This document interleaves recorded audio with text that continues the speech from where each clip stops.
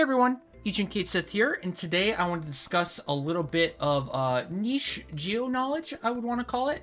Um, well, some really cool things Geo can do that I don't necessarily think is is known by a lot of the newer and returning players, a lot of the a lot of the newer Geos out there. Uh, if you're a veteran player and you've been playing for a long time, you might know about this, but I feel like it's not really it's not really easily accessible anywhere. I mean, um, you don't really see this being used too often anymore, but is still extremely useful and extremely helpful to know how to do this.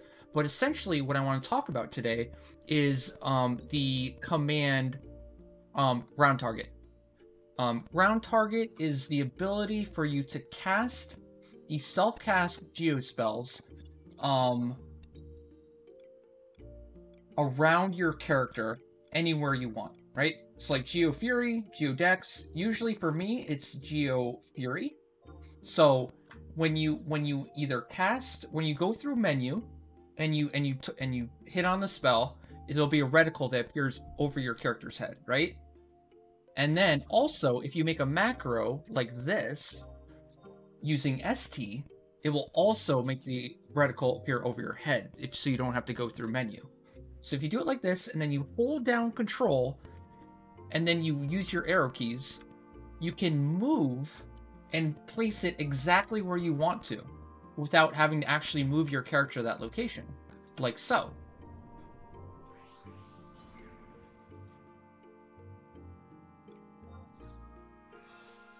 And then, on top of that, there is a command called GTST, Let's type that, GTST, and this is where you put a number between 1 and 100 in to adjust the reticle speed of your Luopan.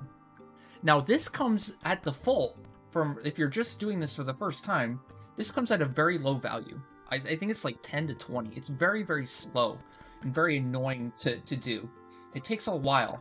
And then this is 1 to give you an idea of the speed. it's like a snail, right? It's it's extremely slow, extremely tedious, extremely annoying to get that thing out there. You can place it very precisely, but it, it'll take you forever, right? And then inversely, if you set it to 100, it's way too quick. It's just it's just jumping everywhere. It's very hard to place it precisely, but it's very quick. At least it gets out there quick, right? I found that the best number to use is, you know, right in the middle. 50 seems to be the perfect speed and still have the ability to place it precisely, right? Now, I use this stuff like in um um in Lilith. I like to precast my Blaze of Glory Fury at the beginning of a fight in the VD Lilith fight. Um so um it, it gets ticking up while I buff, and then it's it's there and waiting waiting at uh full full health you can cast it right on top of Lilith without even aggroing her. It won't aggro any mob. And I've also been doing this on Shinryu. Because Frailty is nerfed on those, um, why not just cast the Fury right at them? So, you know, as you engage, there's one less thing for the Geo to do, and you're just ready to fight right away, because your bubble's already up.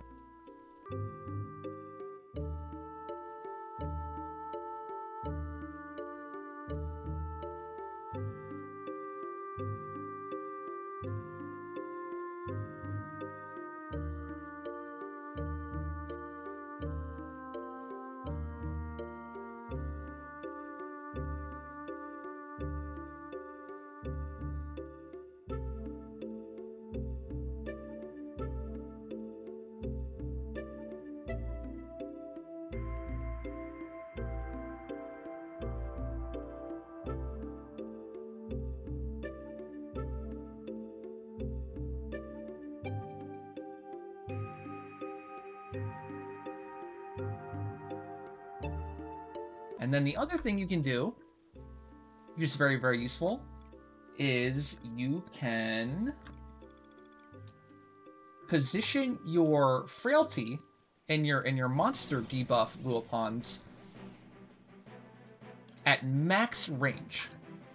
So this is this is something that was what I remember being used on Maju. This is a great strat for Maju. But I believe people used to like run to a certain distance and then try to cast it on themselves or that would be a great way. So like pretend that's Maju, and you know 10 plus is safe. So what you could do is you could stand behind where you want your Luopan to be, go to your Frailty, and then using the ST, the, the ground target, move it back to where you're standing, and cast it here, behind me. So I know the exact distance it would be at if you have that ability, right? And that's going to do it for the video, everyone. Thank you for tuning in. I hope this information is useful uh, to all you Geos out there. I know it has been for me. Um, I hope to continue this series of videos where, you know, we just find some, you know, really cool, nice, niche, useful information and just post about it. And hopefully um, uh, some players uh, find it useful and, and start using it themselves. That's the best we can hope for. Um, don't forget, I stream every day on Twitch also, so if you like my content here on YouTube, uh, I'm sure you'll love the content also over at Twitch.